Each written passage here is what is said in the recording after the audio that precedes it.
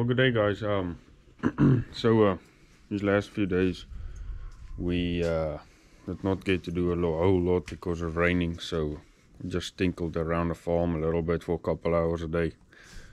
Uh, wasn't really doing anything to be filmed. So um, on this video that I'll uh, publish for y'all, it's um, Tinus and my dad was working on a stalk cutter and. Uh, he had a camera with him and he was just um, filming what I'd done. Um, so uh, that's the video that I'll be putting up. Is uh, it's probably gonna be very short, um, but uh, it'll show you all what they've been up to. In the meantime, I'm uh, fixing to grow me and my wife some uh, some T-bones, and then just enjoy this cold Saturday evening cats are up to something.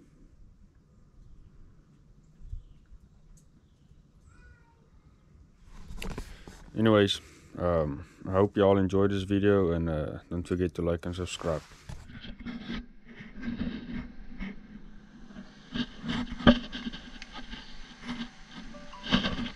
So today we started yesterday. Today we on the second section. Um, we are putting new blades and stuff on. As you can see four years. And these blades it need to be replaced. There's around 232 blades to replace. Um, yeah. Is 116 blades on my side so today we are doing this side.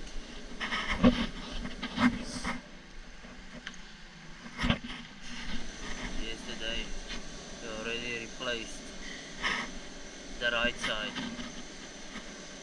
All the blades and stuff.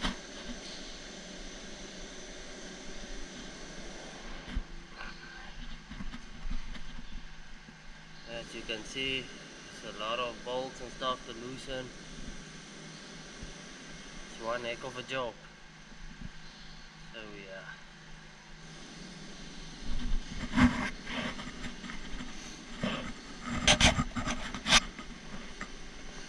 It's gonna keep us busy maybe the whole day.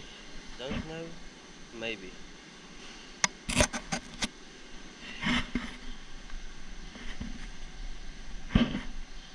But yeah.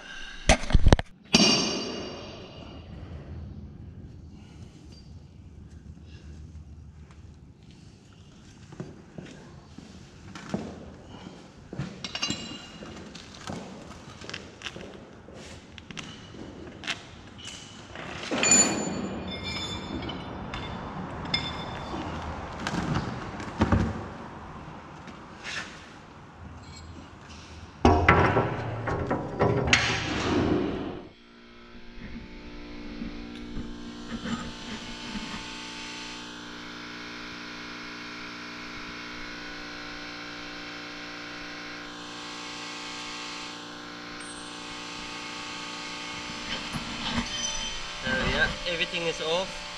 We're gonna cut off the blades now and then we're gonna put the new blades.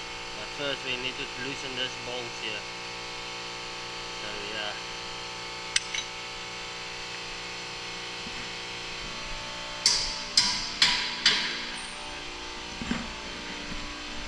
So yeah. What I'm gonna do here is I'm I'm gonna cut one side.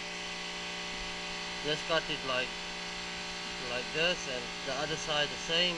Then this piece comes off. Then I can take out the blade. Then we just hit this bolt down. Then it will come out